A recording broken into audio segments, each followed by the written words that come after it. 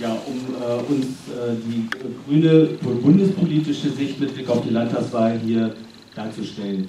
Wir haben jetzt, äh, bevor wir dann äh, schließen, ähm, noch drei Ankündigungen. Ähm, ich fange mal bei dir an, Matthias. Genau. Wir sehen uns am 19. in Berlin. Da findet nämlich die, nicht nur die Grüne Woche statt, sondern eine ganz große Demonstration zum Thema Agrarpolitik also für eine bessere Agrarpolitik, Agrarwende, man darf dann doch mal wieder sagen. Ähm, also, genau.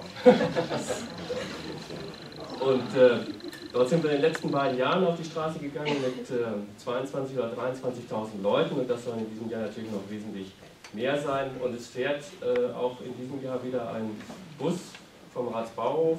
Ich habe auch Tickets hier, kann ich gerne verkaufen. Und ansonsten liegen da hinten noch äh, ein paar Broschüren aus, wo man irgendwann daraus wählen kann, äh, für und gegen was dort demonstriert wird, also hauptsächlich eben für eine bäuerliche ähm, Landwirtschaft und gegen die industrielle, äh, gegen die Agroindustrie und die Gentechnik.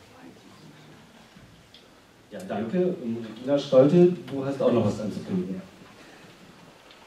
Ja, ich war vorhin vielleicht ein bisschen unaufgeräumt in meinen Formulierungen. Äh, ich möchte das jetzt erklären und das ist auch die Ankündigung, die ich habe.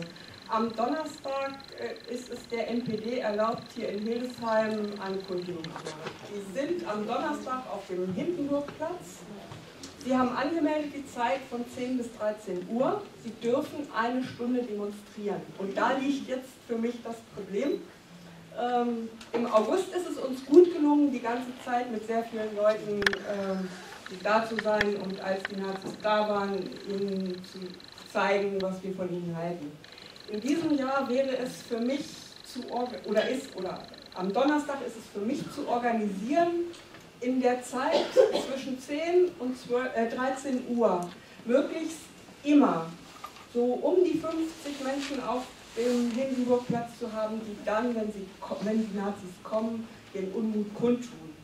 Und das ist bei diesem Wetter und in der Kurzfristigkeit und in der Situation, dass wir keine Ferien haben, deutlich schwieriger als im August.